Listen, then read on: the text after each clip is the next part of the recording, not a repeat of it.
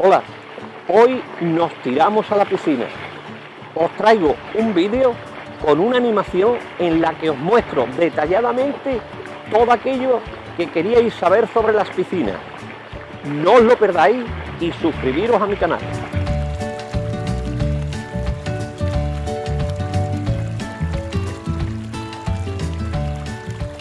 ¿Qué es una piscina con autolimpieza? Pues una piscina la cual lleva incorporada en su instalación una depuradora para mantener su agua limpia e higiénica.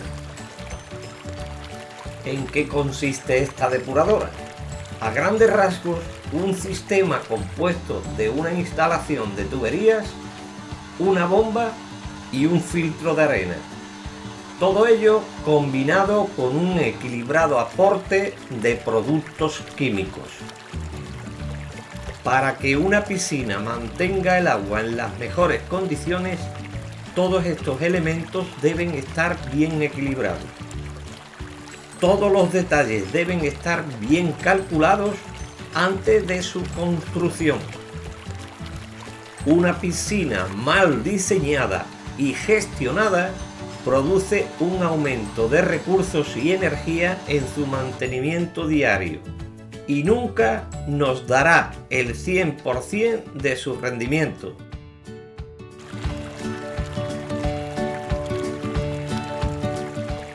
Hola, estoy en esta sala depuradora para mostraros un detalle muy importante. Veis que tenemos una bomba un poco vieja, deteriorada, pero que funcionaba perfectamente. Pero la tuvimos que cambiar por esta otra nueva, porque alguien manipuló la palanca de la válvula selectora sin desconectar eléctricamente la bomba. O sea, la bomba estaba trabajando y el exceso de presión, al cerrar la válvula selectora o al manipularla, hizo reventar la caja de bombeo de esta otra bomba. Tenedlo en cuenta. Bueno, al final me traje la bomba al taller la voy a desmontar y veremos qué tiene dentro.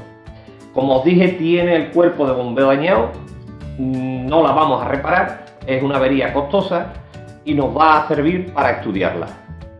No os lo perdáis.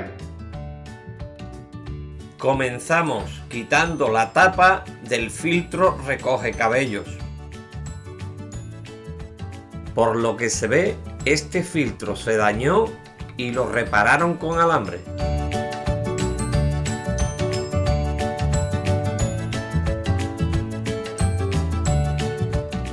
Usamos la atornilladora eléctrica para desmontar el cuerpo de bombeo.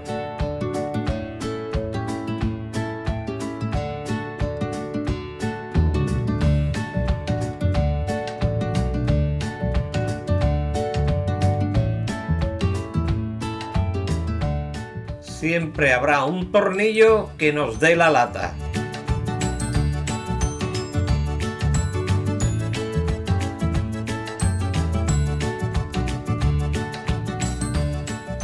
Intentamos separar el elemento con un destornillador plano. Para no hacer daño es conveniente insistir en todos los puntos de la unión.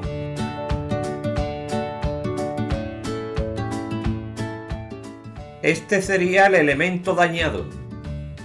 Y como vemos, lo quisieron reparar con masilla. A continuación, quitamos el difusor de la turbina. Este elemento hace que la turbina pueda succionar el agua. Este elemento móvil de color marfil es la turbina. Quitamos la tapa trasera para poder acceder al ventilador.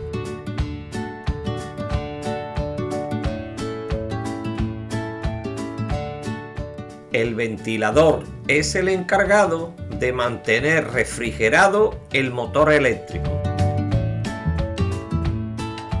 La herramienta con la que lo desmonto puede resultar peculiar, pero es efectiva.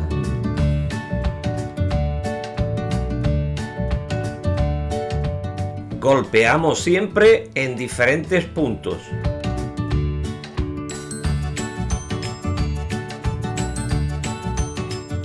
Quitando el ventilador, ya tenemos acceso a la parte trasera del rotor.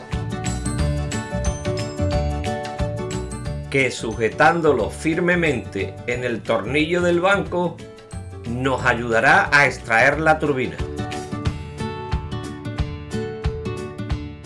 En este caso aflojamos en sentido antihorario y ya tenemos a la vista el retén o sello mecánico. El sello mecánico está compuesto por dos elementos, uno fijo y el otro incrustado dentro de la turbina y gira con ella. Este elemento es muy importante, puesto que crea la estanqueidad en el eje del rotor.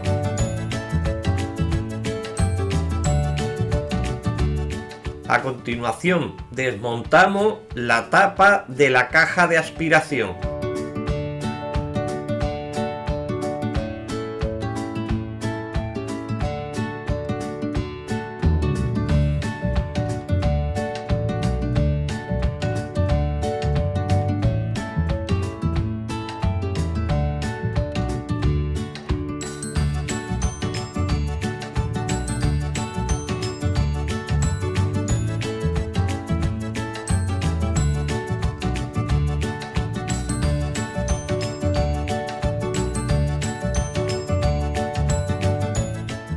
Esta tapa va alojado la parte fija del sello mecánico.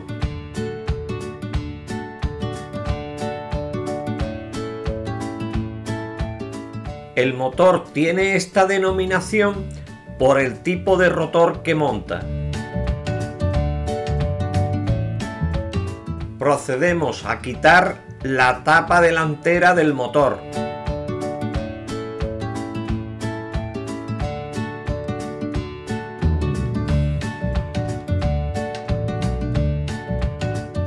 Tiene mucha cal y herrumbre debido a la fuga que tiene la caja de bombeo.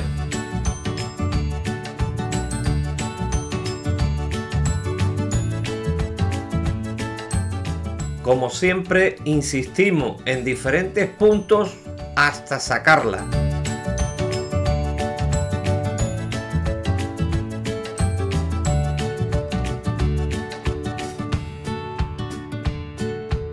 Con ella sale el rotor o inducido.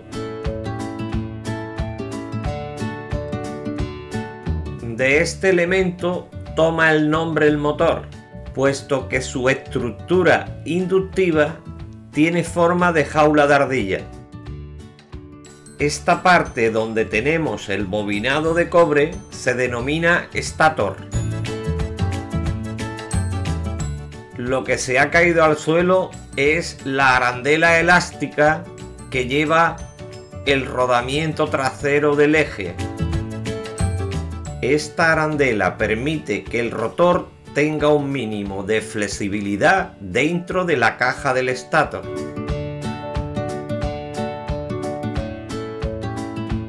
Soltamos la tapa delantera siempre con martillos blandos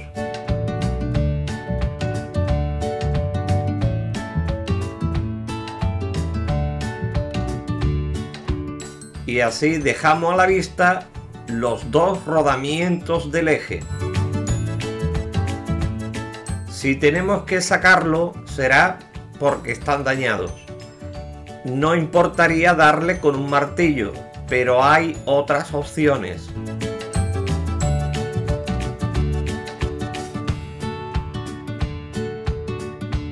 Se utiliza un extractor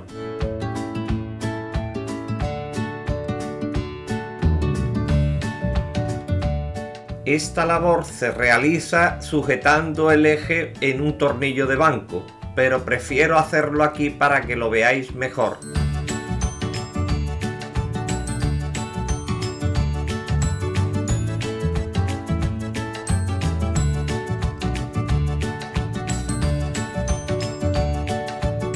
teniendo el extractor sujeto al rodamiento, procedemos a sacarlo.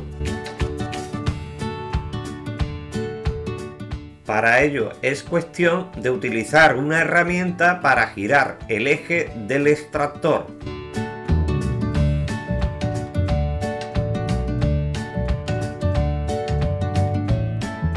Como veis, sale sin apenas esfuerzo.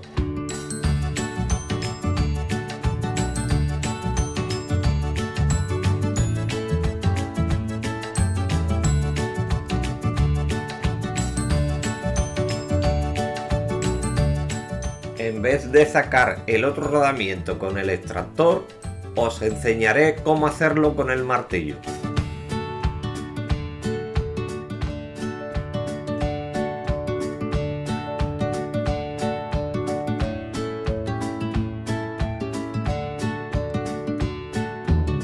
Esta es la razón por la que una avería de rodamientos en un motor resulta muy costosa, debido a la cantidad de elementos que hay que desmontar para llegar hasta ellos.